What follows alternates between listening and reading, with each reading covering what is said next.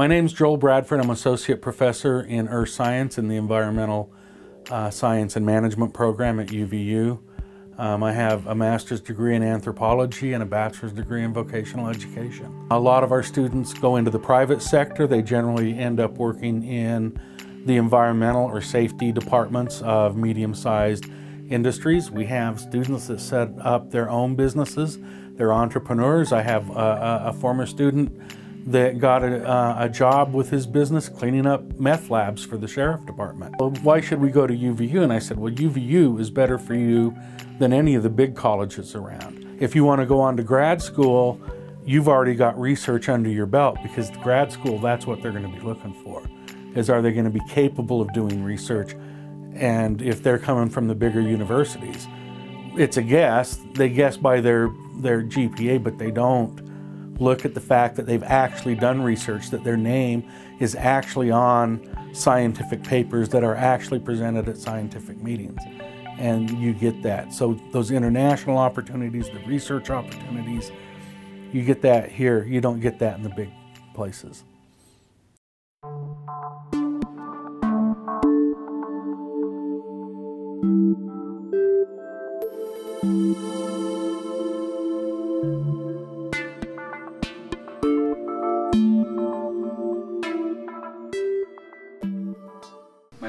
Sanquines. I'm an environmental science and management major, and I'm currently a senior. We're currently researching the uh, bioaccumulation of polychlorinated biphenyls, PCBs, and trace metals in fish from Utah Lake. We're seeing to, uh, we're testing them out to see if they are at any, uh, at a high elevation level where it could be a health risk for humans who uh, consume them. Um, also, I'm currently working on some projects with the, uh, with Professor or Dr. Emerman and we're doing uh, hydro hydrology projects and and uh, various other ones as well. My favorite part of the research project would be the people. Uh, you get to see them every day, and they're just fun to work with. Also, the uh, the mentor that you have, he uh, for for my for me, it's uh, Dr. Cadet, and he pushes you. And he makes it seem like this whole thing that we're doing is impactful, which indeed it is. And he he current constantly tells us that it, this is some type of uh, PhD level work, and with the various uh, conferences that I've gone to, um, it, it is it is top it's, it is top up there.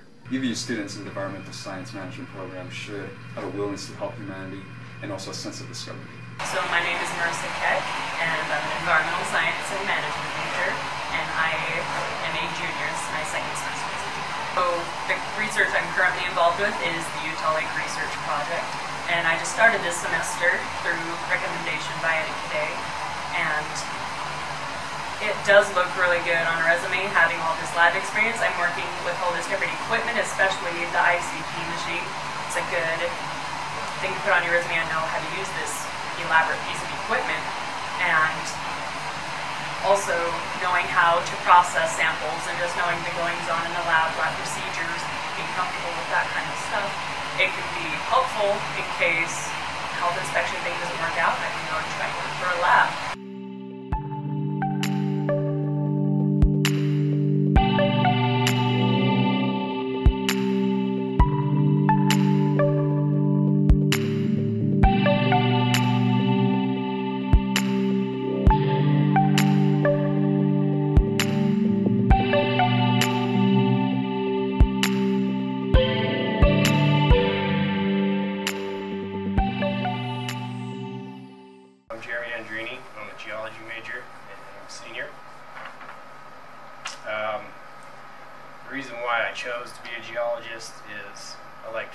Motion, I like being outdoors. My grandpa was actually a civil engineer. So structure for motion and surveying go hand in hand, plus you're outdoors. So, so structure for motion, it's basically taking photos from an aerial platform like a UAV. Uh, it takes pictures and then um, on the ground we actually go on and put ground control points and then we survey those ground control points and then we bring the pictures in and Agisoft actually uses uh, matches pixels in the photos and creates a 3D model. And then that 3D model um, is georeferenced with the survey. so we can actually create high resolution DEMs, digital elevation models. So that's what structure for motion is. you actually get a lot of opportunities for research. Um, if you just go up to the professors and ask them what they're doing, and you can really get involved. Some of my favorite research projects is I just went to Indonesia last summer, summer and we did uh, terrace elevations using the drone. Um, did some mapping there, and then we did a collaboration with the University of Michigan on the house range, um, actually mapping a fault. So, and then went up to Borah Peak, um, did the Lost River Fault, mapped that with the USGS, and we also did. Uh, right now, we're doing snow modeling. We're trying to accurately get the snow depth, so we can do like snow water equivalent, and they can predict runoff and important stuff like that.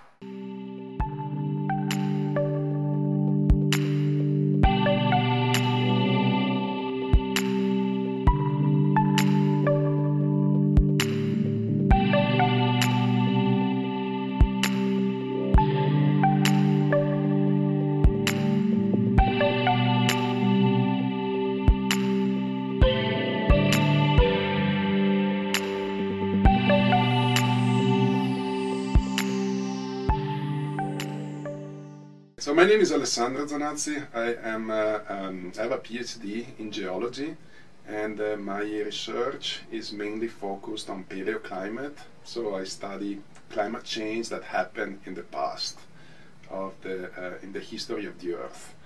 And the idea is that we we want to understand global warming, what's happening today. We need to understand what happened in the past. Well, in my opinion, the biggest benefit is that you get spend some time outside. So that's the best uh, part of being a geologist. That's why most people get into geology. They're outdoor people. They like to spend time outside, not always in the office. They like to get uh, hands dirty with dirt and rocks.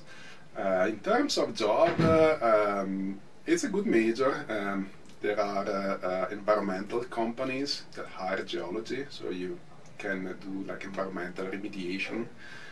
you can go into oil companies. Um, you can uh, work for agency, for the government, for the USGS. Um, and then we have a, a, degree in earth science education, so you can be a teacher in public schools and teach earth science in K to 12 schools. I'm Isaac Larson. I'm from Arizona, and I'm an environmental science and management major, and I'm a year away from graduating, so that makes me a junior, I guess. Okay, with environmental science, a lot of people have no idea what it is or what you're going to work in. And so when people ask me, you know, over and over again, oh, environmental science, what do you want to do with that? I often, you know, out of joking and spite, I'll say, oh, well, I'm just going to make a bunch of money, ret- retire early, and then have a second home in Mexico and spend all my t- time on the beach. But in reality, I'm probably going to um, get a master's degree in environmental science or something similar and work for a mining company or an oil company or maybe even be like a safety manager for a factory or some kind of big industry and you know work there get a lot of experience and potentially i don't know maybe move into something like academic and be a teacher later on or something but mainly i want to get into mining and, and oil. Well the reason i chose an earth science um, degree you know specifically environmental management is because you know growing up i always um, enjoyed being outside. I enjoyed, you know, biology, um, botany, water. I loved swimming. Basically, I just loved nature, and that's how it seems. You know, that's what it seems to be um, for a lot of people that choose either, you know, a geology degree or an environmental science and management degree.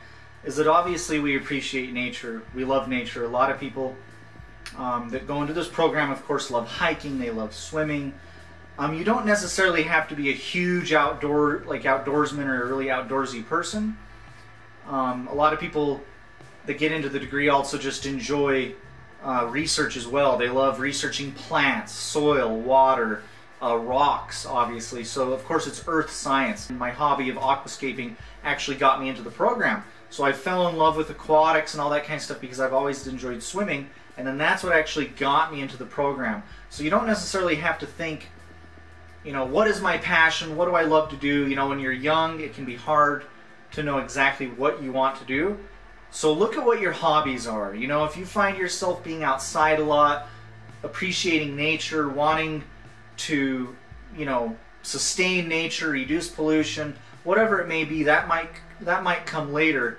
But if you just find yourself appreciating nature or you find that your hobbies are evolving around some kind of earth science or physical science, it may be a good idea to look into either geology or environmental science. So that's basically, you know, how I got into the program and uh, why I'm sticking with the program, basically, and why I love it. So my name's Hillary Hungerford. I have a PhD in geography. I'm in the earth science department, but I'm a human geographer, a social scientist. There are a lot of reasons a student should choose an earth science degree. So we have a number of programs within the department. There's geology, environmental science and management, and geography. And the three disciplines really work well together. And we work together in answering some of the biggest questions facing the future of our planet. So there's continued need for people skilled in these areas, especially GIS. That's where geography really comes in handy. Learning techniques of mapping and analysis that can really lead to a job in a number of fields. Um, and a real strength of Earth Science Department is how interdisciplinary we are and faculty working together across disciplinary boundaries. And this is really the future. We're not just stuck in our little disciplines anymore, but really the questions that we answer as a society cross multiple areas. So, in terms of geography, uh, there's a multitude of places where students get jobs. Some of them are in the private sector, doing things like real estate um, or business planning, location services. Also, a lot of GIS development happens in the private sector, but also the public sector is really popular with our students. Um, um, like community planning organizations at the state level or even at the federal level.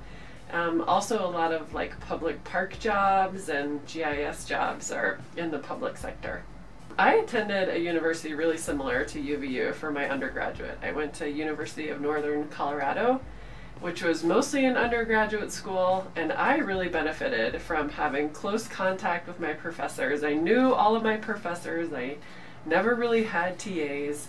And then when I went to graduate school at the University of Kansas, it was so huge, and I easily would have gotten lost in the shuffle. And I think for a lot of undergraduates who are really looking for a little bit of direction and mentoring, a place like UVU is really the best place to be.